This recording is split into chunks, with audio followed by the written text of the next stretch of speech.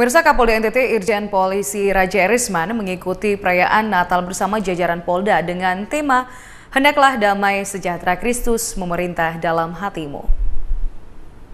Kapolda NTT Irjen Pol Raja Erisman mengikuti jalannya perayaan Natal bersama jajaran Polda NTT yang tahun ini mengambil tema Hendaklah damai sejahtera Kristus memerintah dalam hatimu dan subtema damai sejahtera Kristus terwujud dalam Polri yang profesional modern, dan terpercaya. Hadir dalam kegiatan Natal bersama ini Ketua Sinode Gemit Pendeta Dr. Mary Kolimon, Uskup Agung Kupang, Misinyur Petrus Turang, Wakapolda NTT Brigjen Pol Victor Manopo, dan Rem 161 Wira Sakti Brigjen TNI Teguh Muji Angkasa, dan Lantamal 7 Kupang Brigjen TNI Marinir Kasirun Situmorang, jajaran pejabat utama Polda NTT serta ribuan anggota Polri Polda NTT.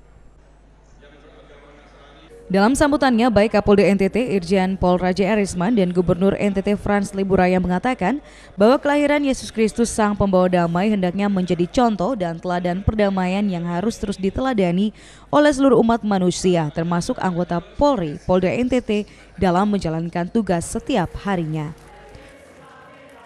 Natal adalah perayaan hari kelahiran Sang Juru Selamat dan Raja Damai Perayaan ini mengajak kita untuk menyimak kembali pesan utamanya karena kasihnya yang begitu besar kepada manusia.